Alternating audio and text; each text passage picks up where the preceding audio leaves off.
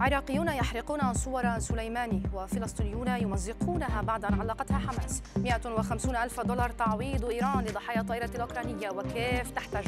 وفاة أخطر قاتل بتاريخ أمريكا هذه الأخبار وغيرها نقدمها لكم من قناة العربية فأهلا بكم.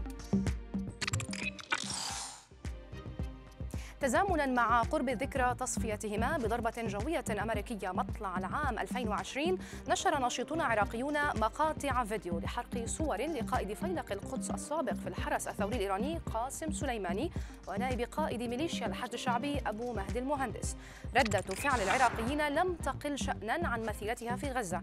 فبعد يومين من رفع حركة حماس صورا لسليماني في شوارع القطاع أقدم فلسطينيون غاضبون على تمزيق الصور إثر موجة غضب في الشارع الفلسطيني على خطوة حماس التي وصفت بالمستفزة.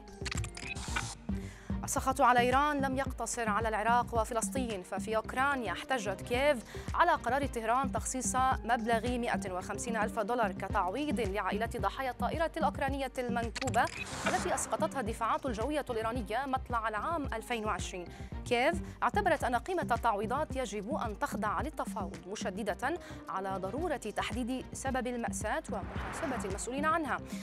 فيما وصفت الخارجية الأوكرانية القرار الإيراني بغير المقبول خاصة أنه يتعلق بمصير أشخاص أبرياء. سقوط الطائرة قتل 176 شخصاً. لكن رجلا واحدا في أمريكا كان مسؤولا عن قتل 93 ضحية. إنه القاتل المتسلسل الأكثر دموية في أمريكا سامويل ليتل والذي أعلن السجن عن وفاته اليوم عن عمر ناهز 80 عاما. وكان ليتل المحكوم عليه بالسجن المؤبد اعترف عام 2018 بارتكاب 93 جريمة قتل على مدى أكثر من ثلاثة عقود. وجميع ضحاياه من النساء فيما قتل غالبيتهن بطريقة الخنق. بينما أقدم لكم هذه النشرة الآن. الأخيرة في عام 2020 يستعد العالم خارجا لطي هذه الصفحة للأبد استقبال عام جديد عام 2021 أمنيات العام الجديد لها معنى آخر هذه المرة. بعد عام كان قاسيا على البشرية أجمع.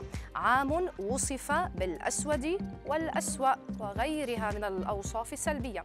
لا يسعنا إلا أن نتمنى لكم عاما جديدا سعيدا. انتظرونا العام القادم 2021 وكل عام وأنتم بخير.